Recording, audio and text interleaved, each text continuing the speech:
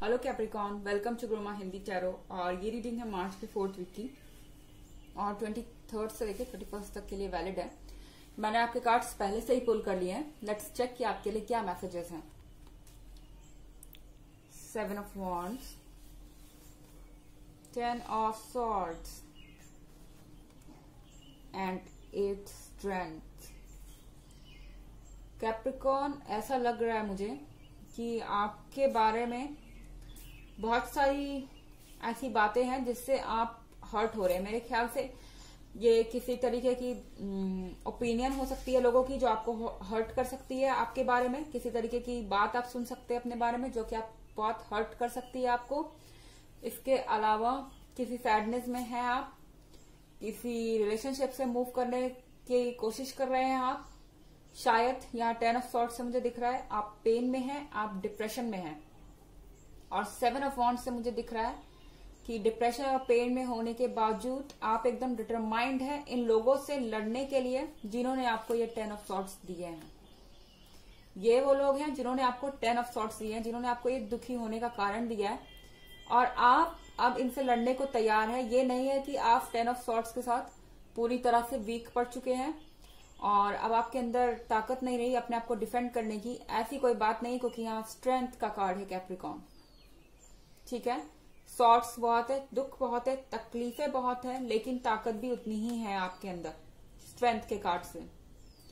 आपके अंदर एक नई स्ट्रेंथ है यूनिवर्स की दी हुई, जिसके कारण आप अपने पैरों पे खड़े हैं और अपने दुश्मनों से आप बिल्कुल लोहा लेने के लिए तैयार हैं और इन सब पे आप भारी पड़ेंगे। देख रहे आदमी इनसे ऊपर है, इन सब पे आप भारी पड़ेंगे। अगर आप चाहें तो हिम्मत रखे तो।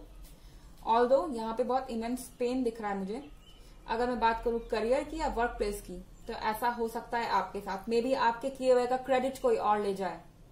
ठीक है? और ये चीज़ आपको बहुत इरिटेट करेगी। आप इस बात को सामने लाना चाहेंगे अपने वर्क प्लेस पे कि ये काम आपने किया, दूसरों ने नहीं। आपका क्रेडिट लेने की अगर कोई कोशिश करेगा तो।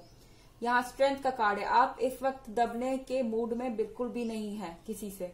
Okay in this fourth week चलिए देखते हैं और कुछ cards ten of cups, king of wands, knight of swords. Okay Capricorn मुझे ऐसा लग रहा है कि ये रीडिंग मुझे किसी थर्ड पार्टी सिचुएशन के बारे में बता रही है। King of wands usually married man ज़्यादातर मैरिड मैन को ये शो करता है। हालाँकि आप सबका रिलेशनशिप मैरिड मैन से नहीं हो सकता है थर्ड पार्टी में। और वैसे भी ये जनरल रीडिंग है डेफिनेटली सबसे रेजोनेट नहीं करेगी। और पिछले वीक की भी रीडिंग देखना चाहें आप तो डिस्क्रिप्शन बॉक्स में उसका लिंक होगा और ईयरली uh, रीडिंग का भी लिंक आपको मिल जाएगा। बट यहाँ किंग ऑफ़ फॉन्ट से मुझे दिख रहा है कि अगर आप किसी ऐसे पर्सन के साथ रिलेशनशिप में जो कि मैरिड मैन है क्योंकि यहाँ एक स्ट्रांग इंडिकेशन मिल रहा है यहाँ पे फैमिली दिख रही है मुझे टेन ऑफ़ कप्स के साथ। ये आदमी बहुत स्टेबल है कामयाब है या जिस भी तरीके की सिचुएशन में है, ये बहुत डोमिनेंट है। इसके अंदर कोई ऐसी क्वालिटी थी जिससे आप काफ़ी अट्रैक्ट हुए। इसने आपको प्रोमिस किए but at the end of the day ये अपने फैमिली का पक्ष ले रहा है।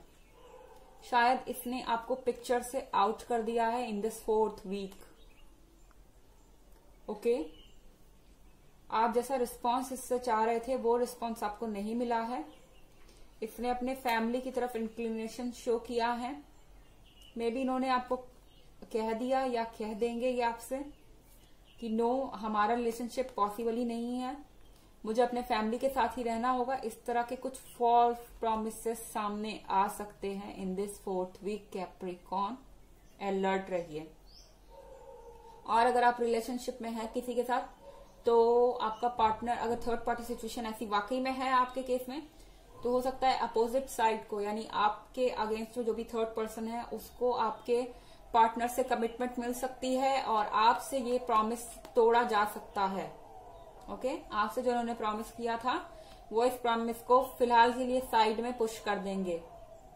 मे बी आपको ये भरोसा दें कि बाद में होगी चीज़ें, ये वो इस तरह की चीज़ें हो सकती हैं Capricorn again knight of swords मुझे दिख रहा है आप बिल्कुल अटैकिंग मोड पे हैं। आपको लग रहा है कि आपके साथ इनजस्टिस हुआ है। Okay okay? आप ये फील कर रहे हैं कि जब इस पर्सन को अपना वादा पूरा नहीं करना था तो वो आपको कैसे कमिटमेंट दे सकता है?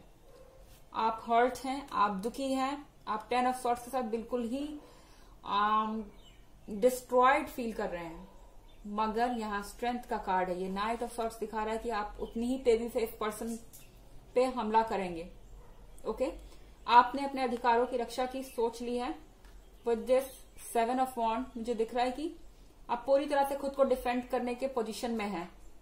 जो भी आपके सामने खड़ा होगा, उसको इस वक्त आपका रात झेलना पड़ेगा, गुस्सा झेलना पड़ेगा आपका, और आप उस पर भारी पड़ेंगे। आपने सोच लिया इस पर्सन को दिखाने का नो मुझे ग्रांटेड में नहीं लिया जा सकता, ये नहीं चलेगा। कि मुझे झूठे प्रोमिस दिए जाए, मुझे यूज़ किया जाए, उसके बाद मुझे साइड कर दिया जाए। ओके क्या कैप्रिकॉन ये चीज़ आपके अंदर है, इस वक्त ये आप इन्हें शो करेंगे। Judgement the fool the hermit okay Capricorn एक और चीज़ मैं आपको बताऊँ, यहाँ द कार्ड जजमेंट का और एक और चीज़, ये कार्ड दोनों तरफ़ से रेजोनेट हो सकते हैं। मे बी अगर आप किसी को अबेंडन करेंगे किसी ऐसे को, अपनी फैमिली के लिए जिसके साथ आप रिलेशनशिप में थे तो आपको थर्ड पार्टी का रैथ झेलना पड़ सकता है।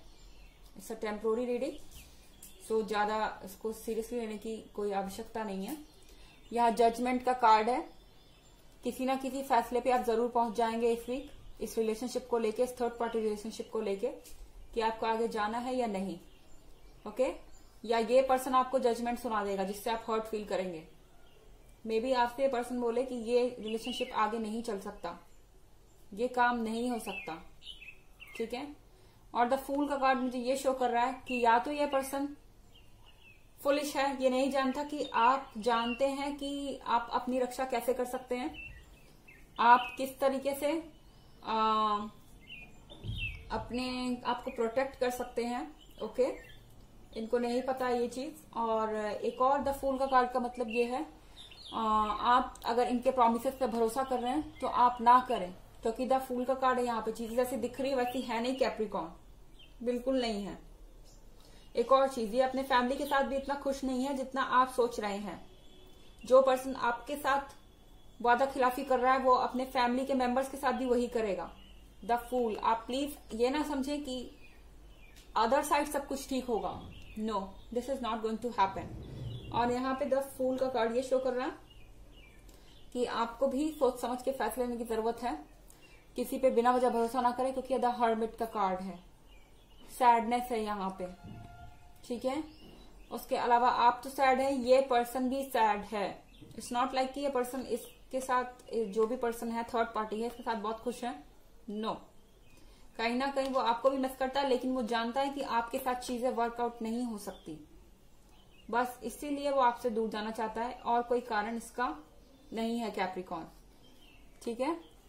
और इस वीक में तो आपके लिए यही अच्छा होगा कि आप इन सिचुएशन से दूरी बनाए रखें और आप बहुत फियर्स हो जाएँगे। अगर वर्क प्लेस पे किसी ने आपका क्रेडिट लेने की कोशिश की, ठीक है? किंग ऑफ़ वॉन्ट से मुझे दिख रहा है कि मे बी आपको पार्शियलिटी फील हो सकती है अपने वर्क प्लेस पे। आपको ऐसा लगेगा कि जब दो एम्प्लॉयज़ इक्वल काम कर रहे हैं तो दूसरे को क्यों इतना इंपॉर्टेंस मिल रहा है और उसको लेके आप अटैकिंग मोड पे आ जाएँगे? विच इज़ ओके ठीक है। लेकिन आपको यह समझने की ज़रूरत है कि वैसे भी आपको इस इंसान की ज़रूरत नहीं है जो दो जगह पार्शियलिटी करता है। तो यह आपकी चॉइस है कि आप इस पर्सन के लाइफ में रहना चाहते हैं, क्योंकि मुझे नहीं लगता कि आपको इस पर्सन को लेसन देने के लिए कोई स्पेशल एफर्ट करने की ज़रूरत है। इसका लेसन इसको मिल जाएगा खुद। आप अपनी लाइफ पे फोकस कीजिए बेटर चीज़ों को देखिए ओके सो लेट्स चेक कि आपके लिए और कल के क्या मैसेजेस हैं messages for Capricorn for the fourth week of March messages for Capricorn for the fourth week of March. Archangel Michael, trusting heaven. You are safe. Angels stand close. Surrender your concerns and allow a miracle to occur. Okay.